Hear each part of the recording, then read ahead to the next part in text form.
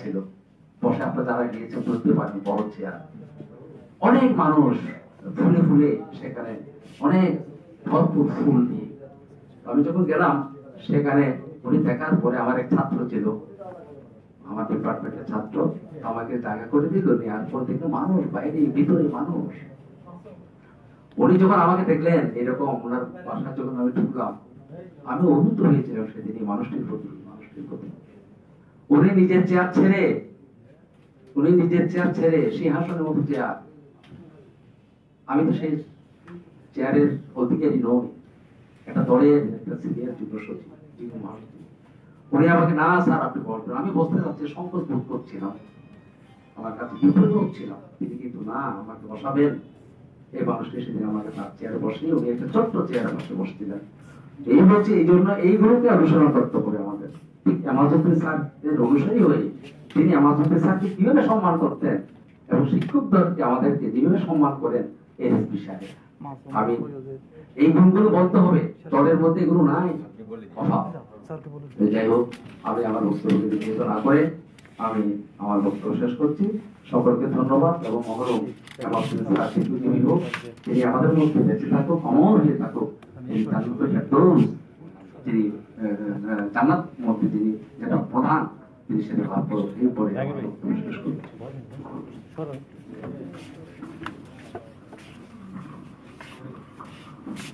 ধন্যবাদ স্যার। এখনও বক্তব্য রাখবেন। পটুয়াখালী বিজ্ঞান ও প্রযুক্তি বিশ্ববিদ্যালয়ের সাবেক উপাচার্য অধ্যাপক ডক্টর আব্দুল লতিফ মাসুদ।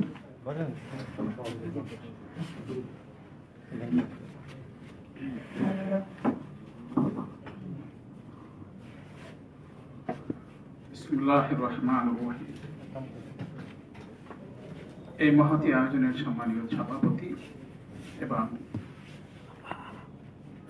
সুধীবৃন্দ শোক সভার নিয়ম অনুযায়ী আমি কারও নাম উল্লেখ করছি না। কুল্লে নাফসে জায়কাতুল মউত মৃত্যু একটি অবধারিত সত্য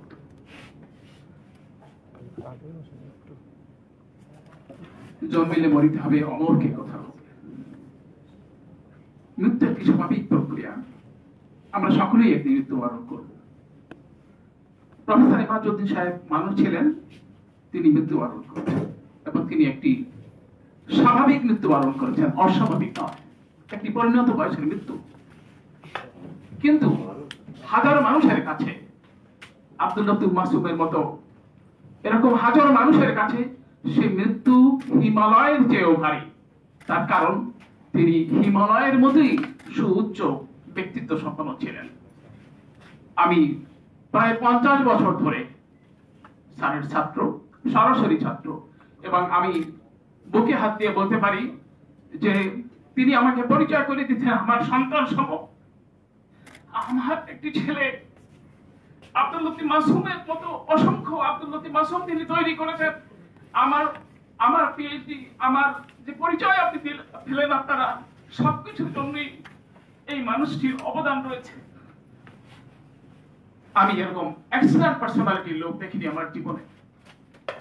excellent in his management, excellent in his deliberation, excellent in his writings, এত এক্সেলেন্সের এত সমাহার এটা এটা অস্বাভাবিক, এটা অসাধারণ। তিনি সেই অসাধারণ ব্যক্তিটি ছিলেন এবং আমরা তার সেই মূল্যায়ন করতে পারিনি। আপনি মনে করুন, যদি একজন ইমাজউদ্দিন এই রাষ্ট্র ব্যবস্থার শীর্ষে থাকতেন, তাহলে পরে আজকেও জাতীয়তাবাদী শক্তি ক্ষমতায় অধিষ্ঠিত থাকত। আমরা এ এই জন্য বলব যে তাকে মূল্যায়ন করতে হবে।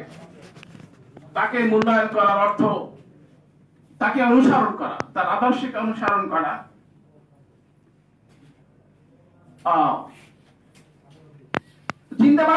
দেওয়া, স্তুতি, বাক্য উচ্চারণ করা খুবই সহজ। আমি বলি, হুজুরদের ওয়াজ শুনে শুনে শহীদ হয়ে যাওয়া অনেক সহজ। কিন্তু তিলে তিলে ইসলামকে, দিনকে অনুসরণ করা খুব কঠিন। ঠিক তদ্রুপ ভাবে আমরা সকলেই কথা বলছি ইমাজুদ্দিন সাহেবের জন্য, আমাদের দরদ বিগলিত প্রাণ। আমরা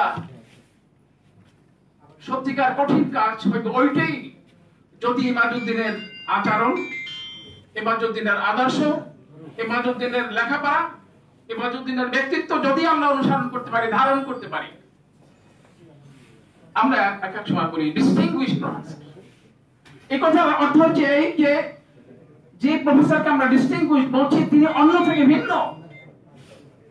ইমাজুদ্দিন সাহেব নৈবেত্তিক রাজনৈতিক দৃষ্টিভঙ্গি লোক ছিলেন না। তিনি রাজনীতি করেছেন, কিন্তু সেই রাজনীতি একটি ভিন্নতর রাজনীতি। আপনারা শুনেছেন যে মাজুদ্দিন সাহেব বেগম খালেদা জিয়ার প্রধান উপদেষ্টা ছিলেন না। যেমন করে মানুষ জানে যে বেগম খালেদা জিয়ার প্রধান উপদেষ্টা হচ্ছে ইমাজুদ্দিন আসলে তা নয়। একটি কর্তব্যবোধ, একটি দেশপ্রেম এবং একটি গণতান্ত্রিক সূচনা থেকে তিনি তার সমস্ত বিনিয়োগ, সমস্ত মেধা, সমস্ত অর্জনকে ঢেলে দিয়েছেন। আমরা আসুন সবাই মিলে সেই কাজটি করার চেষ্টা করি। তার চেতনায় উদ্বুদ্ধ হয়ে তার সাথে সাথে সারা পিছু পিছু ছিলাম সারা জীবন। ওই যে ট্রাকের টাকায় যখন পিষ্ট হলো গণতন্ত্র, তখন তিনি এই ব্যক্তি যে সাহস করে তার কাছে গিয়েছিলেন এবং আমাকে বলেছিলেন, বাবু, একটা কিছু করো। আমি লিখেছিলাম, ট্রাকের টাকায় পিষ্ট গণতন্ত্র বইটি পুলিশ সিজ করেছিল, পরে, অনেক পরে এটা বের হয়েছিল। হি ওয়াজ এ গিফটেড পার্সোনালিটি আল্লাহ তরফ থেকে এরকম লোক অনেক কম আসে। আর সেই শেক্সপিয়ারের কথা দিয়ে শেষ করি যে সাম গ্রেটেস্ট ইম্পোস্ট। আকাশ থেকে বলা হয় হাজার বছর হাজার বছর ইম্পোস্ট। আর কেউ কেউ আল্লাহর তরফ থেকে এটা লাভ করেন, আর কেউ কেউ নিজের জীবন দিয়ে এটা অর্জন করেন। ইমাদুদ্দিন সাহেব জীবন দিয়ে তা অর্জন করেছেন। আমরা সবাই যেন তাকে আন্তরিকভাবে অনুসরণ করি। অনুসরণ করার জন্য তিনটি কাজ আমরা করতে পারি। প্রথমত সেভেন্টিন জুলাইকে ইন্টেলেকচুয়ালদের রিজভি ভাই আছেন, আমি তার দৃষ্টি আকর্ষণ করছি। সেভেন্টিন জুলাই, তার মৃত্যু বার্ষিকীকে আমরা যেন ইন্টেলেকচুয়ালদের বুদ্ধিবৃত্তিক দিবস হিসেবে প্রতি বছরই পালন করি। জাতি একসময় পালন করবে, ইনশাআল্লাহ। কিন্তু আমরা যেন সবাই আমাদের ঘরানায়, আমাদের পরিবেশে এটা পালন করি। স্মৃতি সংসদের কথা বলা হয়েছে একটি স্মৃতি সংসদ হতে পারে? এবং এই স্মারক গ্রন্থ কথাটার জন্য আমার ইসবি ভাইয়ের সাথেও কথা হয়েছে। আমরা একটি স্মারক গ্রন্থ প্রকাশ করব। এবং আপনারা আপনারা সবাই এই স্মারক গ্রন্থে স্মৃতি কথা লিখতে পারেন এবং রহমতুল্লাহ এখানে আছেন, তার সাথে আপনার সঙ্গে যোগাযোগ করে আগামী সতেরোই জুলাই অবশ্যই এই স্মারক গ্রন্থটি ইনশাআল্লাহ প্রকাশিত হবে। আমার তৌফিকিল্লাহ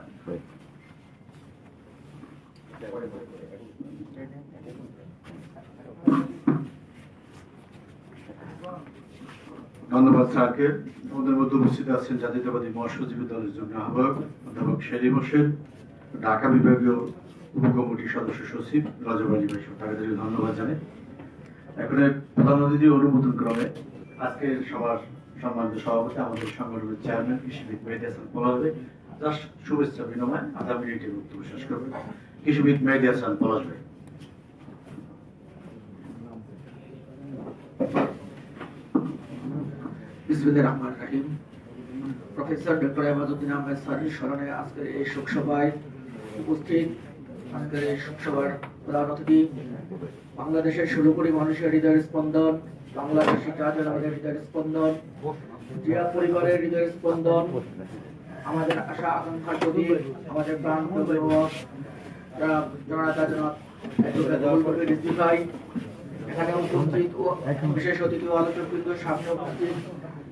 আমার সহকর্মী ভাই ও বোনেরা সাংবাদিক ভাই বোনেরা সকলকে উপস্থিত হওয়ার জন্য আন্তরিক অভিবাদন ও শুভেচ্ছা জানিয়ে এবং আমাদের প্রাণপ্রিয় স্যার ডক্টর এমাজউদ্দিন আহমেদ স্যারের আত্মার মাফরাত কামনা করে আমি আমার সংক্ষিপ্ত বক্তব্য এখানে শেষ করছি। আল্লাহ হাফেজ।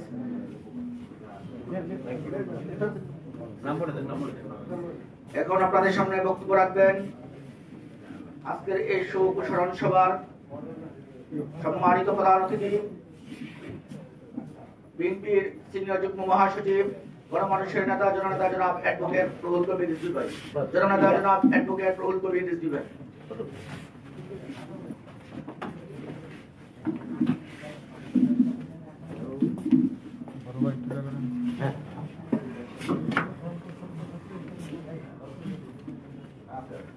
এটা বন্ধ কর। এটা বন্ধ কর।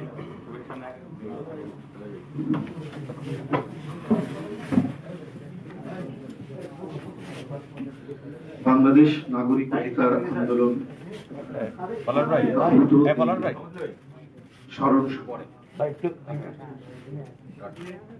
স্মরণ সভার সভাপতি মেহেদি হাসান পলাশ। পিছন থেকে যান আপনি। উপস্থিত রয়েছেন দেশের বরেণ্য বুদ্ধিজীবীবৃন্দ ডক্টর আব্দুল লতিফ মাসুম উপস্থিত রয়েছেন, আমার শিক্ষক তুল্য, ডক্টর সুকুমার বড়ুয়া, আমার অনুস্পতি কিন্তু ঢাকা বিশ্ববিদ্যালয়ের একজন বুদ্ধিবৃত্তিক শিক্ষক ওবায়দুল ইসলাম ওবায়দুল ইসলাম আমি আরও ধন্যবাদ জানাই রহমতুল্লাহ যিনি ইয়ে হালিম। দেখো। স্যারকে চিনতে পেরেছেন উনি কি? এবং এই চিনতে পারার মধ্যে দিয়ে স্যারের সাথে তার নৈকট্য যেটা আমাকে মুগ্ধ করেছে যে সবাই চায় খুব খ্যাতিমান লোকদের সাথে ক্ষমতাবান লোকদের লোকজনদের সাথে চলাফেরা করতে। কিন্তু একজন বুদ্ধিজীবী শিক্ষার সাথে যার সম্পর্ক, তাকে হয়তো বুক দিয়ে সালাম দেওয়া যায়, কিন্তু ঘনিষ্ঠ একটা বয়সের পর শিক্ষা জীবন শেষ করার পর আর কেউ খোঁজ খবর আমরা রাখি না। তো সেই রহমতুল্লাহ এখানে আছে বিলকিস সাফা আরও আমাদের নেতৃবৃন্দ আছেন, মৎস্যজীবী দলের সদস্য সচিব। সবার নাম হয়তো এই মুহূর্তে বলতে পারছি না। সবাইকে আমি ধন্যবাদ জানাচ্ছি। বিশেষ করে আয়োজক মেহেদি হাসান পলাশ রহমতুল্লাহ এই যে টপিক্সের উপর আলোচনা, অর্থাৎ স্মরণ সভা এমন একজন মহিরুহ ব্যক্তির আমাকে এই বিষয়ে বলার সাথে সাথেই আমি মানে আর কোনো দ্বিধা করিনি। আমি যদি এই আলোচনা সভায় প্রধান অতিথি করেছেন আমাকে এতগুলো মানে বরেণ্য বুদ্ধিজীবীদের সামনে। আমাকে নিজেই এই জন্য খুবই ইয়ে মনে হচ্ছে যে তারাই এখানে সেই পদ অলঙ্কৃত করার কথা। কারণ তারাই উপযুক্ত ব্যক্তি। বিশেষ করে ডক্টর সুকুমার বড়ুয়া, আব্দুল লতিফ মাসুম বা ওভাই যারা আছেন, তো তারপরেও আমাকে করেছেন। এই জন্য আমি সত্যিকার অর্থে একটা গর্ববোধ করছি যে ডক্টর ইমাজুদ্দিন আহমেদ স্যারের মতো এই ধরনের যেটা বলেছেন একদমই সুউচ্চ হিমালয় পর্বতের মতো, যা ব্যক্তিত্ব এবং বুদ্ধিবৃত্তিক উচ্চতা, তার সম্পর্কে বলা খুবই আমার জন্য কঠিন। যাই হোক, যেভাবেই হোক না কেন, ছাত্র রাজনীতির সুবাদেই অধ্যাপক ডক্টর ইমাজুদ্দিন আহমদ স্যারের সাথে একটা সম্পর্ক আমি যদিও রাজশাহী বিশ্ববিদ্যালয়ের ছাত্র, ডক্টর ইমাজুদ্দিন স্যার রাজশাহী বিশ্ববিদ্যালয়ের ছাত্র ছিলেন না, কিন্তু রাজশাহী কলেজের ছাত্র ছিলেন। যে কলেজে আমিও পড়াশোনা করেছি। এটা আমি লিখেওছি এবং বলেওছি যে এটা আমার গর্ব। এমনিতেই এমনিতেই রাজশাহী কলেজ নাম করা কলেজ ছিল। এটা তখন বিভাগ পূর্ব চার পাঁচটি মাত্র গভর্নমেন্ট কলেজ। একটি কলকাতা প্রেসিডেন্ট প্রেসিডেন্সি কলেজ এবং শেষের দিকে একটা হয়েছিল, যেখানে মুসলমান ছাত্ররা পড়তো ইসলামিয়া কলেজ আর এদিকে রাজশাহী কলেজ ঢাকা কলেজ আর চিটাং কলেজ এগুলো, এই এই চারটি থেকে পাঁচটি ছিল হচ্ছে আপনার সরকারি কলেজ তো বিশেষ করে খুলনা বিভাগ এবং রাজশাহী বিভাগের যারা মেধাবী ছাত্র, তারা রাজশাহী কলেজে পড়তে আসতেন। এবং যারা আরও মেধাবী ছিলেন, তারা প্রেসিডেন্সি কলেজে যেতেন। এবং প্রেসিডেন্সি কলেজ এবং রাজশাহী কলেজ যেহেতু একটা বড় নদীর এক পাশে কলকাতা রাজশাহী একই ট্রেনে যাতায়াত করা যায়। তো যখন বদলির ব্যাপার হতো প্রেসিডেন্সি কলেজের টিচাররা রাজশাহী কলেজে বদলি হতো রাজশাহী কলেজের টিচাররা বদলি হতো। যেহেতু গভর্নমেন্ট কলেজের শিক্ষকরা গভর্নমেন্ট কলেজেই বদলি হবে। এটা একটা ঐতিহ্যবাহী কলেজ সাবেক স্পিকার মির্জা গোলাম হাফিজ, বর্তমান প্রধানমন্ত্রীর স্বামী ডক্টর ওয়াজিদ সাহেব, কাজী জাফর আহমেদ, আনোয়ার জাহিদ সহ প্রচুর বরণ্য ব্যক্তি এই কলেজে পড়েছেন। সর্ব সর্বোপরি আমি অনেক পরে জেনেছি যে ইমাজুদ্দিন স্যারও এই কলেজের ছাত্র ছিলেন। এবং সে সময়ের যারা শিক্ষক ছিলেন, তারা জাতীয় পর্যায়ের বুদ্ধিজীবী ছিলেন একাডেমিশিয়ান ছিলেন। তো আমার একটা আগ্রহ ছিল যে স্যারের কাছ থেকে তাদের বিষয়ে জানা। আগ্রহ মানে ছিল বলতে পাস্ট মানে স্যারের কাছ থেকে আমি তাদের সম্পর্কে জেনেছি যে এরা ডক্টর ইমাজুদ্দিন আহমেদ স্যারেরও শিক্ষক ছিলেন। তো একটা মজার বৈশিষ্ট্য ছিল ওনার। ওনার বাসায় কোনো একটা অনুষ্ঠান উনি বসে আছেন, বয়স হয়ে গেছে, খুব বেশি নড়াচড়া করতে পারে না। ওখানে পাশে বসেই কানে কানে স্যারকে যদি প্রশ্ন করা যায় স্যার প্রফেসর শামসুল হক সাবেক পররাষ্ট্রমন্ত্রী বা ডক্টর এ আর মল্লিক, বাংলাদেশের প্রথম ইয়ে কি বলে যে অর্থমন্ত্রী, আপনার শিক্ষক ছিলেন, তাদের ব্যাপারে একটু যদি বলতেন, স্যার। তো স্যার, যা ওনার শিক্ষকদের সম্পর্কে উনি যা জানতেন, এত মজার করে বলতেন যে এই সমস্ত বিখ্যাত লোকের, ওনারা ছাত্র ছিলেন। তো উনি গল্প করতেন এটা তো তো এগুলো এগুলো শোনার মধ্যে মানে এক ধরনের মানে অসাধারণ একটা অভিজ্ঞতা হয়। এবং সেই অভিজ্ঞতা শুধুমাত্র কোনো কাজের অভিজ্ঞতা না, জ্ঞানের অভিজ্ঞতা হয়। তো আমার এখনও আফসোস হয় যে স্যারের সাথে এই দীর্ঘদিন মিশেছি এবং স্যার যে মানে এই চলতে ফিরতে যে কথাগুলো বলেছেন, এতই মূল্যবান আমি আহমদ সফার মতো প্রাবন্ধিক নই, যদি তাই হতাম। আহমদ সফা যেমন দীর্ঘদিন জাতীয় অধ্যাপক আব্দুল রাজ্জাক সাহেবের সাথে মেলামেশা করে তার কাছ থেকে যে কথাগুলো শুনেছিলেন, সেগুলো উনি লিপিবদ্ধ করে রেখেছিলেন। এবং তারপরে তিনি একটা বই লিখেছিলেন, চমৎকার, যদ্যপি আমার গুরু। অসাধারণ একটি বই লিখেছিলেন। তো আমার এখন আফসোস হয় স্যারের সাথে কথা বলতে গিয়ে যে আমি যদি কথাগুলো লিখে রাখতে পারতাম, তাহলে আমার মনে হয় যে চমৎকার গ্রন্থ হয়তো দেওয়া যেত আমার প্রতিভার মধ্যে চমৎকার গ্রন্থ লেখার কোনো ইয়ে নেই, কিন্তু স্যারের কথাগুলো নিয়ে একত্রিত করে এটাকে সংগ্রহ করে যদি একটা বই বের করতে পারতাম, তাহলে মানে খুবই উপকৃত হতাম ব্যক্তিগতভাবে আমি এবং আরও অনেকেই হয়তো সেটা করে বুঝতে পারতেন তার তার মানুষ, তার চিন্তা, তার ভাবনা। আমরা বাইরে থেকে যেটা জানি যে ডক্টর আব্দুল লতিফ সাহেব বলেছেন, উনি বলে অনেকে প্রধান উপদেষ্টা। উনি বিএনপির ঘনিষ্ঠ লোক। কিন্তু উনি কিন্তু লিখিত ভাবে কোনো উপদেষ্টা নন। ওই ন্যাশনাল ইন্টেলেকচুয়ালস এর যে হাইট কোন সাংগঠনিক কাঠামোর মধ্যে নাই। কিন্তু আমরা যারা সাংগঠনিক কাঠামোর মধ্যে আছি, তার চাইতে কি ওনার ভূমিকা কম ছিল? যে কথাটি উনি- বলেছেন যে ম্যাডামকে তখন বালির বস্তা দিয়ে অবরুদ্ধ করে রেখেছে, কাঠের ট্রাক দিয়ে অবরুদ্ধ করে রেখেছে, এই মুহূর্তে তার কনিষ্ঠ পুত্রের লাশ তাকে বরণ করতে হয়েছে গণতন্ত্র হারা বাংলাদেশ, এই গণতন্ত্র হারা বাংলাদেশের জন্য তার এই যে ত্যাগ অফিসের মধ্যে মাসের পর মাস থেকেছেন, পুত্রের লাশকে তাকে কোলে নিতে হয়েছে। তারপরে তিনি দেশের দেশ এবং মানুষের অধিকারের জন্য লড়াই করছেন। ওই রকম মুহূর্তে আমাদের আমাদের দলের বা শুভাকাঙ্ক্ষী অনেকে ঝুঁকি নেননি।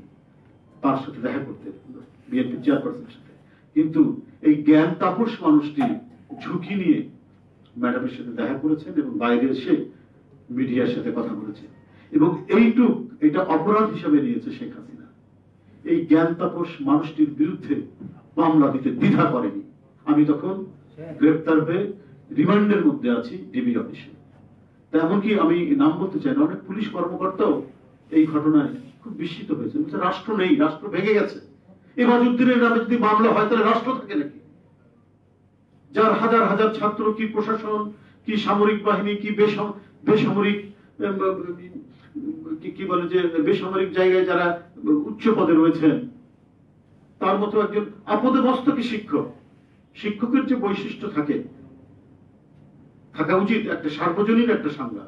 আমরা অনেকেই বিশ্ববিদ্যালয়ে পড়াতে পারি, কলেজে পড়াতে পারি, ইঞ্জিনিয়ারিং কলেজ, মেডিকেল কলেজে পড়াতে পারি, কিন্তু শিক্ষক সবাই নয় শিক্ষক, শিক্ষকের আলাদা একটা মূল্যবোধ থাকে। সেটা হচ্ছে শিক্ষকের সাথে ছাত্রের একটা স্বর্গীয় সম্পর্ক। এই স্বর্গীয় সম্পর্ক সবাই অর্জন করতে পারেন না। সেটা অর্জন করতে পারেন একমাত্র ডক্টর ইমাজুদ্দিনের মতো এই ধরনের শিক্ষকরা, এই মহিমান্বিত শিক্ষকরা। রাস্তার যেখানেই দেখা হোক, বাপু কেমন আছো? কি করছ? হ্যাঁ কি হচ্ছে তোমাদের? সবচেয়ে মানে আমার কাছে এখনও বুকের মধ্যে খুব বাধে। এই জ্ঞান তাপস বৃদ্ধ মানুষ আশি বছরের উপরে তার ইয়ে হয়ে গেছে, বয়স হয়ে গেছে। আমি দুই বছর এই অফিসের মধ্যে অবস্থান করছি। কি করা উচিত, কি আমরা করছি, এটা জানার জন্য সে এই তিনতলা পর্যন্ত হাঁটতে হাঁটতে উঠতে। আমি বললাম, স্যার, আপনি উপর থেকে আমাকে বলবেন, আপনি দোতলা করতে আসবেন। কারণ তখন নিচের আমার তো আমাদের জন্য বিপদ যে কোনো মুহূর্তে গ্রেপ্তার হতে পারে। তারপর তিনি ওই দোতলা পর্যন্ত আসতেন। তো এই আশাটাও তো ওনার শরীরের জন্য খুব কষ্ট করছে কিন্তু প্রায় এক সপ্তাহে কখনো দুই দিন এসছেন এই দুইটি বছর আমার খুব ছটপট করতে দেখা গেছে আমরা একটা সংস্কৃতি আছে আমাদের যে যদি কারও বাবা মারা যায়, তাহলে তার মাকে, সেই ছেলের মাকে সান্ত্বনা দিতে হয়। বা বাবা মা যদি কেউ না থাকে মানে একজন আছে, তিনি মারা গেলেন। বাবা অথবা মা মারা গেছেন, তার হয়তো যদি বাবা মারা যায়, তাহলে মা হয়তো আগে মারা গেছেন। মানে মোট কথা হচ্ছে যে বাবা মা নেই এটি তাহলে কাকে শোক জানাতে হবে? তার সন্তানদের। দেখুন, আমরা নিজেই জানতাম না। ম্যাডামকে যখন আটই ফেব্রুয়ারি গ্রেফতার করা হয়েছে, ওনাকে কারাগারে নিয়ে যাওয়া হয়েছে, এর মধ্যে তিনি সান্ত্বনা দিয়েছেন, বর্তমান অ্যাক্টিং চেয়ারম্যান তাকে। এটা আমরা এক বছর পর জেনেছি। এই যে মানে শিক্ষকের যে একটা আলাদা বৈশিষ্ট্য, তার যে বলেছি স্বর্গীয় সম্পর্ক এবং অভিভাবকত্ব। আমরা যে বলছি তাকে জাতির অভিভাবক, তার তো একটা বৈশিষ্ট্য আছে। তার তো একটা বৈশিষ্ট্য বৈশিষ্ট্য থাকবে। সেই বৈশিষ্ট্য এরকম। এক বছর পর যখন আমাদের অ্যাক্টিং চেয়ারম্যান ইয়ে করছেন কি বলে যে স্কাইপিতে সাংগঠনিক কাজ শুরু করেছেন, এর মধ্যে স্যার দেখা করতে আসলেন। সেই দিন শুনলাম যে স্যার সাথে সাথেই লন্ডনে ভারপ্রাপ্ত চেয়ারম্যান সাহেবকে তিনি এই ঘটনার জন্য মানে দুঃখ প্রকাশ করছেন তাকে সান্ত্বনা দিচ্ছেন, অভিভাবকের যে দায়িত্ব। আমি অভিভূত হয়েছি। আমরা আরও অনেকে ছিলাম, আমাদের আরও অনেকে ছিল, কিন্তু এই কথাটি হয়তো মনে পড়েনি। সবাই সবাই সহানুভূতিশীল সবকিছুই আছে। কিন্তু এই মুহূর্তে যে মাকে কারাগারে নিয়ে গেছে বাবা নাই, তাহলে সন্তানকে সহানুভূতি জানাতে হবে। এই যে দায়িত্ববোধের জায়গাটা তার হৃদয়ের মধ্যে কত প্রসারিত, এটা মানে ভাবাই যায় না। সেদিনই আমরা তার মানে চমকপ্রদ তার যে অভিভাবকত্ব, সেটা আমরা উপলব্ধি করেছি। এক, দুই নম্বর হচ্ছে শিক্ষকের। তো একটা হচ্ছে যে ক্লাসরুম থাকে, সেখানে শিক্ষকরা শিক্ষা দান করে। আরও ভালো শিক্ষক যারা আরও বোঝানোর জন্য যে তার চেম্বারে যায়, আমরা দেখেছি অনেক শিক্ষক যে, স্যার, এটা ঠিক বোঝানো করে এটাও করেন অনেক শিক্ষকরা। কিন্তু ফুটপাতের মধ্যে দাঁড়িয়ে, কোনো অডিটোরিয়ামের বারান্দার মধ্যে দাঁড়িয়ে, অথবা রাস্তায় একই সাথে গাড়িতে যাচ্ছে, সেই গাড়ির মধ্যে ছোট ছোট ছোট ছোট প্রশ্ন করতাম। এই ধরনের ছোট ছোট প্রশ্ন করলে উনার কাছে কোনো ক্লাসরুমের দরকার নেই। কখনো বলতেন না যে, বাবা, ঠিক আছে, আমি তোমাকে পরে জানাব। দেখতাম যে ইনস্ট্যান্টলি উনি ওটার উত্তর দিচ্ছেন। আমার একটা একটা ঘটনার কথা বলি। ওই প্যালেস্টাইনের উপরে আবার হামলা করল ইসরায়েল।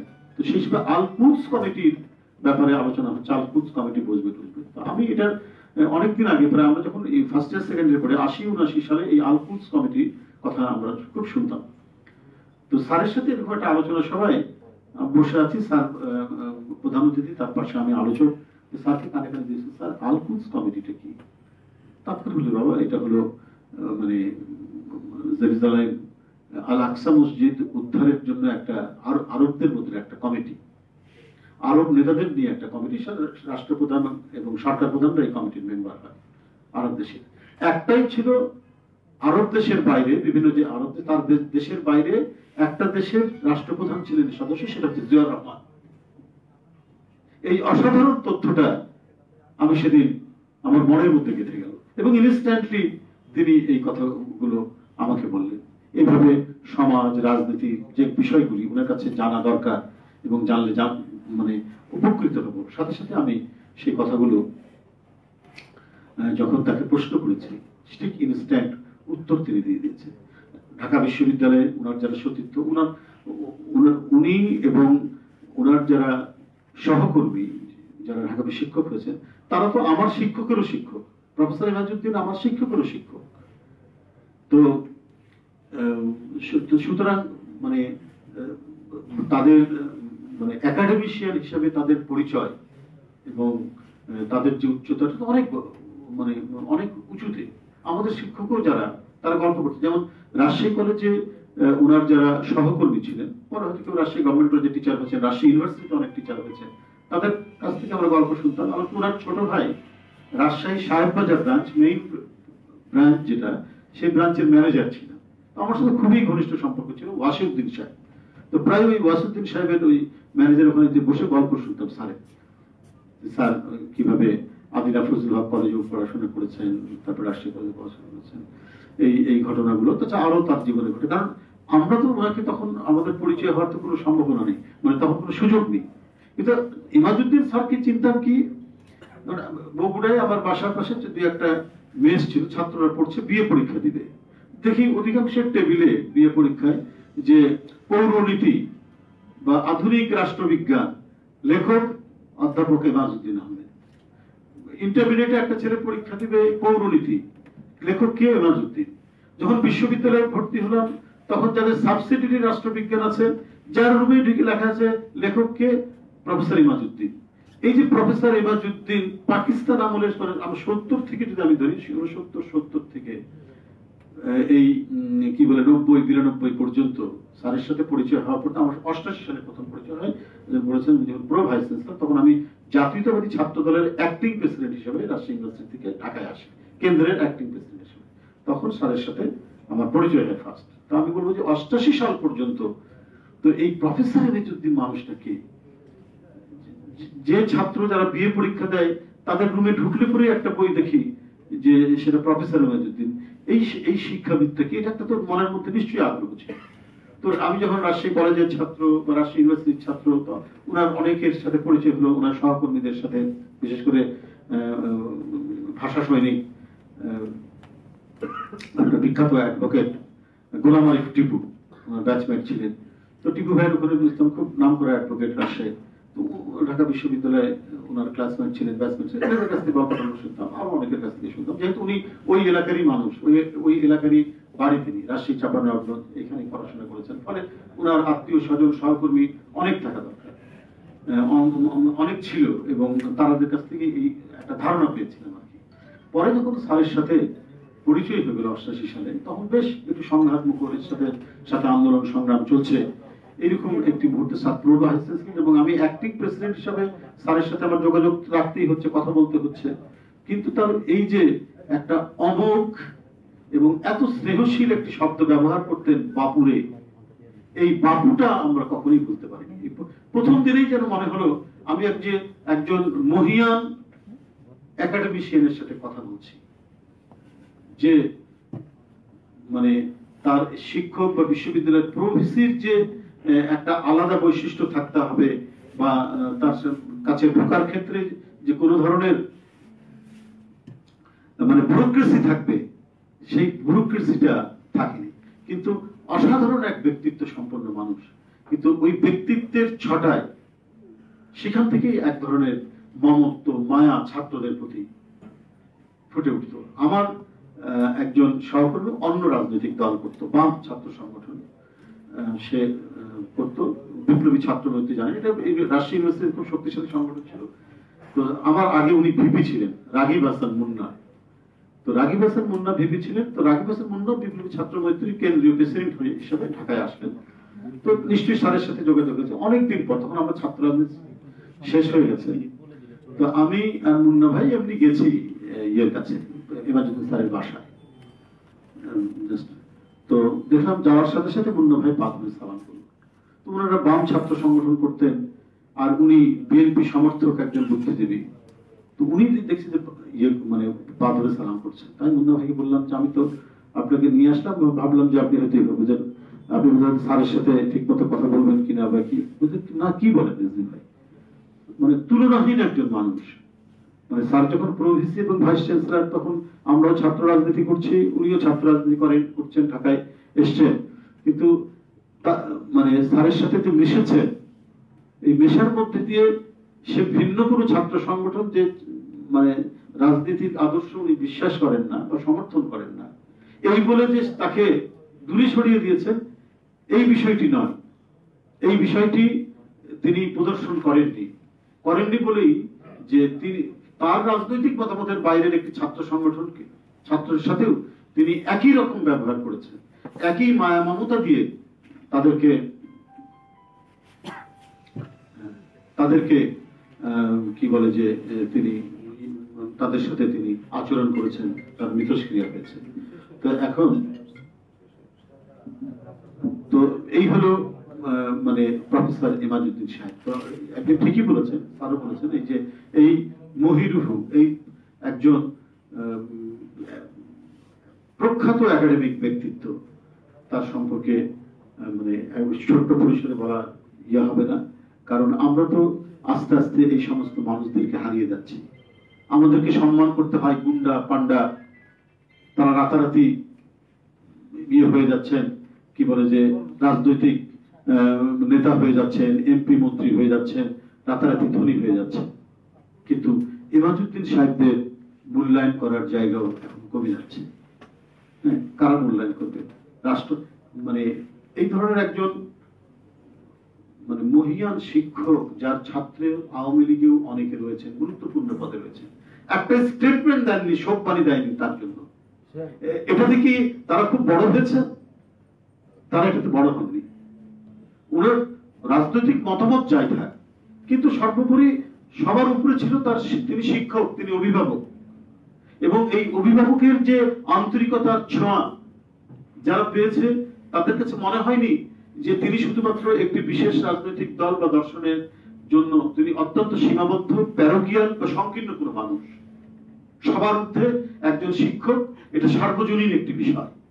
কিন্তু আজকে আমরা এমন সংকীর্ণতায় ভুগছি যে এইরকম একজন মহিরুহের মৃত্যুতেও আমরা শোক জানাই। ঠিক যেমন ভাবে আপনারা দেখুন, যে ব্যক্তিটি স্বাধীনতার ঘোষণা দিলেন দুর্যোগময় মুহূর্তে, জাতীয় নেতৃত্বের অভাব, জাতীয় নেতৃত্ব যে দায়িত্ব পালন করেননি, একজন মেজর সেদিন সেই দায়িত্ব পালন করেছেন, জাতির কাণ্ডারি হিসেবে সেদিন তিনি ভূমিকা পালন করেছেন। আজকে তার বিরুদ্ধে মিডিয়াকে নিয়ন্ত্রণ করে, মিডিয়ার সমস্ত আলো নিজের দিকে, একজন ব্যক্তির দিকে টেনে নিয়ে তার বিরুদ্ধে বিষোদ্গার করছেন। আপনারা মরহুম শেখ মুজিবুর রহমান সাহেবের যে মর্মান্তিক হত্যাকাণ্ড এর জন্য যে মামলা করেছেন, সে মামলাও তো জিয়াউর রহমানের কথা সেখানে বলেননি। হ্যাঁ জিয়াউর রহমানের একটাই অপরাধ। উনি তো তখন সামরিক বাহিনীর দ্বিতীয় ব্যক্তি। প্রথম ব্যক্তি যিনি, তার কোনো দায় দায়িত্ব নেই। তিনি আওয়ামী লীগ করেন, আওয়ামী লীগের এমপি ছিলেন, তিনি বাদ, জিয়াউর রহমান। কারণ যে বহুদলীয় গণতন্ত্র জিয়াউর রহমান চালু করেছিলেন, এটাই হচ্ছে অপরাধ। উনি যদি বাকশালকে সাপোর্ট করতেন, তাহলে এই ধরনের কথা কিছুই বলতেন না। আজকে এই দশ বারো বছর আরে কিন্তু এই কথা বলছে জিয়াউর রহমানকে টেনে নিয়ে আসার চেষ্টা করছে দেশের এই গর্বিত সন্তান, একটা সেক্টর কমান্ডার এবং তার রাজনৈতিক দর্শন, এবং তার যে রাজনৈতিক কর্মকাণ্ডের মধ্যে দিয়ে শুধু বহুদলীয় গণতন্ত্রের নিশ্চিত করাই নয় উৎপাদন, উন্নয়নের রাজনীতি এবং বাংলাদেশ যে একটা আলাদা স্বাধীন রাষ্ট্র, এইটা উপলব্ধি করতে পেরেছে জনগণ জিয়াউর রহমানের সময় এখানেই ক্ষোভ হচ্ছে আওয়ামী লীগের এবং আওয়ামী লীগের নেতৃত্বে। কেন তার এত জনপ্রিয়তা কেন? তার রাজনৈতিক দর্শন বাংলাদেশি জাতীয়তাবাদ এবং বহুদলীয় গণতন্ত্রের যে চেতনা, এই চেতনা কেন সে এখানে প্রতিষ্ঠিত করেছে? এটাই হচ্ছে খুব অন্য কিছু খুব নয়। এবং তার ওই পথ বেয়েই তাকে যখন চক্রান্তকারীরা হত্যা করল চট্টগ্রাম সার্কিট হাউসে সেই পতাকাটাকে পরে বহন করলেন তার সহধর্মিনী দেশনেত্রী বেগম খালেদা জিয়া। এই কারণেই হচ্ছে সমস্ত প্রতিহিংসা জিয়াউর রহমান এবং বেগম খালেদা জিয়ার উপরে। এবং এই যে কমিটমেন্ট বেগম খালেদা জিয়া গণতন্ত্রের কমিটমেন্টেও শেখ হাসিনার চাইতে উনি ছিলেন চ্যাম্পিয়ন মানুষের কাছে শেখ হাসিনা ধরা পড়ে গেল যে এর কথার সাথে কাজের কোনো মিল নেই। তার রাজনীতিটাই হচ্ছে এক ধরনের মানে কথা দিয়ে কথা না রাখা। মানুষের সাথে একটা প্রতারণার জায়গায় তিনি তৈরি করেছেন। আর বেগম খালেদা জিয়া কথার সাথে তার কাজের মিল রয়েছে, যেটা অঙ্গীকার করেন, অঙ্গীকার থেকে বিচ্যুত হন না। এই কারণেই জিয়াউর রহমান এবং বেগম খালেদা জিয়ার প্রতি তাদের যত ক্ষোভ, যত ঈর্ষা, তার বিরুদ্ধে মিথ্যা মামলা দিয়ে যে মামলাটার সাথে তার কোনো সম্পর্ক নেই, তার কোনো স্বাক্ষর নেই, সেটা সেই মামলায় তাকে সাজা দিয়ে কারাগারের মধ্যে রাখা হয়েছে। আর আজকে জিয়াউর রহমানকে নানাভাবে যুক্ত করার চেষ্টা চলছে পনেরোই আগস্টের সাথে। আর গোটা ক্যাবিনেট তৈরি হলো ওই রক্তাক্ত লাশের উপর দিয়ে সব আওয়ামী লীগের লোক। শুধু খন্দকার মুস্তাক নন, খন্দকার মুস্তাক তো বাকশালের একজন প্রভাবশালী নেতা, আওয়ামী লীগের একজন প্রভাবশালী নেতা। উনি রাষ্ট্রপতি হলেন আর ক্যাবিনেট, তারপরে পার্লামেন্ট, সবই তো আওয়ামী লীগের। তো তাই তাদেরকে আপনি কেন কিছু বললেন না? শেখ মুজিবুর রহমান সাহেব ওই ভোরবেলায় টেলিফোন করলেন শফিউল্লাহ সাহেবকে, শফিউল্লাহ সাহেব জেনারেল, সে বলছেন যে, রাষ্ট্রপতি বলছেন যে আপনি প্রাচীর বের হয়ে যান। তারপরে উনি আওয়ামী লীগ করেন, এই কারণে ওনার কিছু বলা যাবে না। আব্দুল মান্নান টাঙ্গাইলের স্বরাষ্ট্রমন্ত্রী ছিলেন, বাহাত্তর থেকে পঁচাত্তরের ক্যাবিনেটে। উনি পরে, উনি ছিলেন মোস্তাকের ক্যাবিনেটের মন্ত্রী দেওয়ান ফরিদ গাজী, উনি ছিলেন মন্ত্রী। হবিগঞ্জের। তারপরে যে সমস্ত আমলারা বা সামরিক কর্মকর্তারা পরে আওয়ামী লীগে যোগ দিয়েছেন, তারাও তো পঁচাত্তরের পরে চাকরি করেছেন প্রমোশন নিয়েছেন। তো তারা তো আপনার আওয়ামী লীগের সাথে সংশ্লিষ্ট হয়েছেন, এমপি হয়েছেন, কেউ কেউ মন্ত্রী হয়েছেন। কই, তাদের কথা তো আপনারা বলেন না? স্বয়ং ওই রক্তাক্ত লাশ ডিঙিয়ে ওই মন্ত্রিসভার যিনি শপথ পাঠ করালেন শপথ পাঠ অনুষ্ঠান পরিচালনা করলেন আপনার তিনি প্রধান উপদেষ্টা, এস টি ইমাম। কই, তাকে তো একটি কথা বললেন না। এত আওয়ামী লীগের নেতা ছিল আব্দুর রাজ্জাক, তোফায়েল সাহেব। তারা একটা মিছিলও বের করতে পারলেন না যে প্রতিবাদে। কই, তাদের ব্যাপারে তো আপনি কোনো অভিযোগ না, তারা মন্ত্রী হয়েছে, তারা গুরুত্বপূর্ণ পদ পেয়েছে।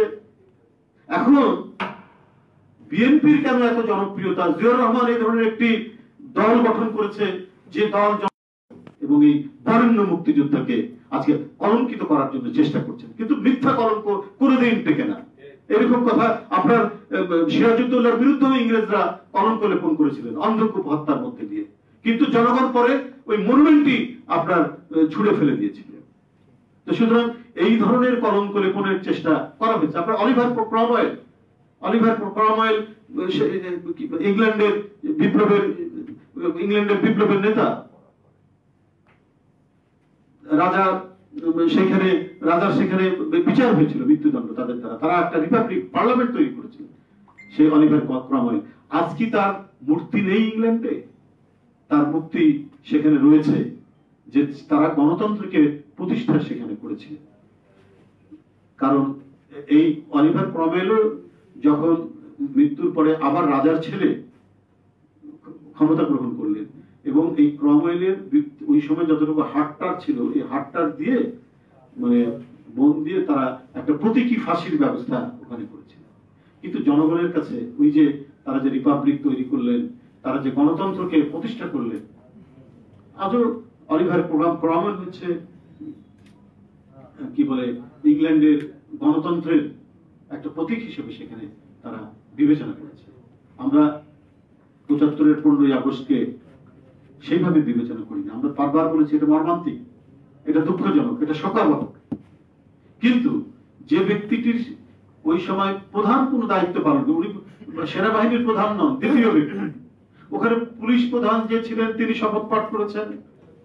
তিনি উম, কি বলে যে সমর্থন দিয়ে এসছেন মুস্তাকের সরকারকে। শফিউল্লাহ সাহেব সেনাবাহিনীর প্রধান হিসেবে তিনি করেছেন।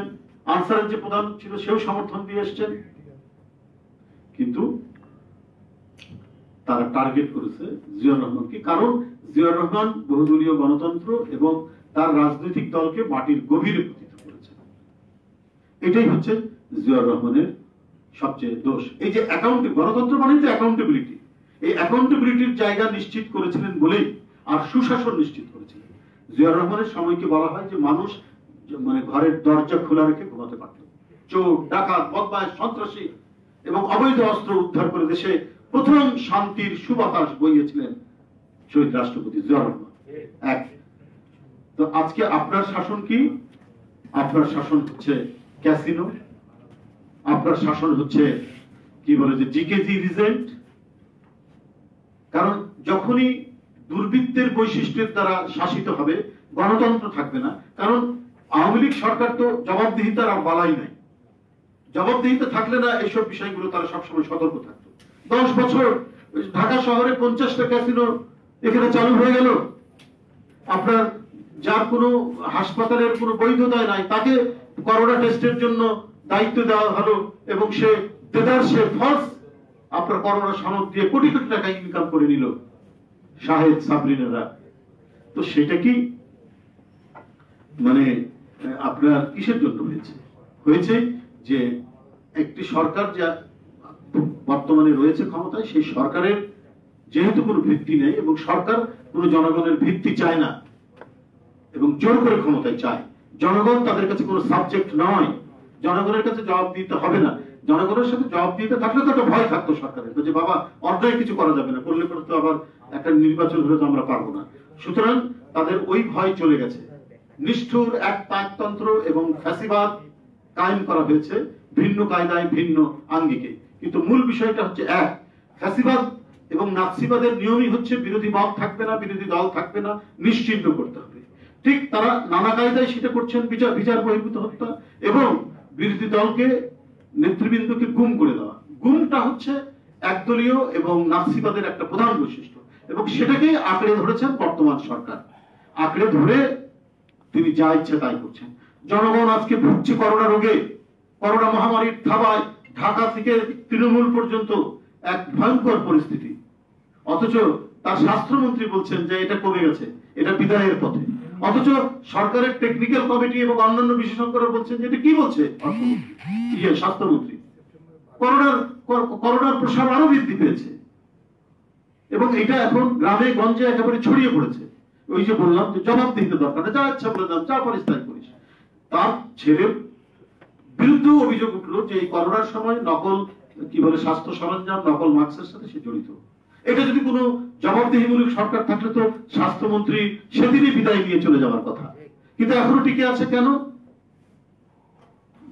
স্বাস্থ্যমন্ত্রী, সেটা তো সবাই সবাই জানে, সবাই বুঝতে পারে যে কেন টিকে আছে। এদেরকেই টিকিয়ে রাখা হবে। এদেরকে টিকিয়ে রাখলে পরেই জনগণবিহীন শাসনটা দীর্ঘায়িত করা যাবে। এবং তারা যা ইচ্ছা যে এত বড় মিথ্যাচার করে যাচ্ছে মানুষের জীবন নিয়ে, মানুষের অসুস্থতা নিয়ে মানুষের দুর্ভোগ নিয়ে, মানুষের কষ্ট নিয়ে, এরা তামাশা করছে, এরা ফাজলামি করছে। এই মন্ত্রীরা কিন্তু তারপরেও তারা বহাল তবিয়তে টিকে আছে। কারণ মানে দুর্বৃত আশ্রিত সরকার সবসময় দুর্বৃত্ত মনোভাবাপন্ন মানুষদেরকে খুঁজে বেরিয়ে তাদেরকে দিয়েই একদলীয় শাসন এবং অগণতান্ত্রিক শাসন তারা জারি করে। বক্তব্য আর দিব না। আপনাদের সবাইকে ধন্যবাদ জানাচ্ছি। আমি অধ্যাপক ইমাজউদ্দিন আহমেদ। আমাদের অভিভাবক তুল্য, আমাদের প্রাণের মানুষ, আমাদের শিক্ষক, আমাদের পিতৃতুল্য এই মহিয়ান একাডেমিক ব্যক্তিত্ব এবং বুদ্ধিজীবী আত্মার মাফিরাত কামনা করে আমি আমার বক্তব্য শেষ করছি। ধন্যবাদ আজকের এই সমাপ্তি ঘোষণা করেন সকলকে ধন্যবাদ।